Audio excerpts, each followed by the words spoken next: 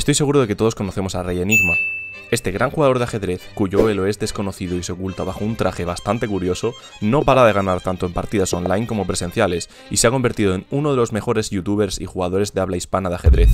Sus vídeos, trucos y consejos inspiran a muchísimos jugadores. Pero, ¿qué pasa cuando juega contra un jugador que ha sido campeón del mundo? Es aquí cuando entra Gary Kasparov, sin duda uno de los mejores jugadores de la historia, con un elo máximo de 2851, fue número uno durante 255 meses.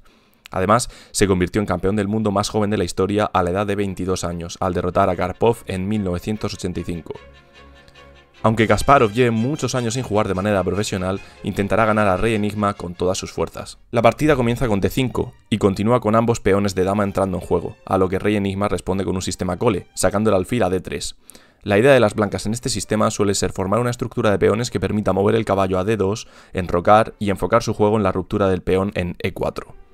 Cuando Rey enroca, Gary se toma unos segundos para pensar en su siguiente movimiento, y tras una serie de movimientos de desarrollo, Rey consigue situar su alfil en fianchetto en B2, y Gary saca la dama a jugar. Es una posición donde ambos luchan activamente por el centro, y Rey Enigma sabe que tiene que intentar causar una ruptura en el centro para poder abrir un poco la posición. Tras unos segundos pensando, Rey cambia su alfil de casillas blancas por el caballo de Gary, y se ve obligado a tener que situar su caballo en E5, el cual puede ser intercambiado en cualquier momento. Rey sabe que tiene que tener cuidado, ya que Gary es un maestro de las aperturas y aunque parezca que esté improvisando, es muy posible que sepa perfectamente cómo debe continuar la partida para mantener una posición ganadora. Tras una serie de intercambios en el centro del tablero, Rey decide desarrollar su caballo atacando a la dama, y es entonces cuando Gary tiene que pararse a pensar. Este retira a la dama y es cuando las blancas deciden comenzar un ataque por el flanco de Rey con peón h4. Tras una serie de intercambios y con una posición para Rey Enigma un poco peor por falta de material, Rey decide seguir centrando sus esfuerzos en este ataque por flanco de Rey, con un agresivo dama h5 molestando un poco el peón no defendido de f5. Pero para Gary esto no es problema pues lo defiende con la dama.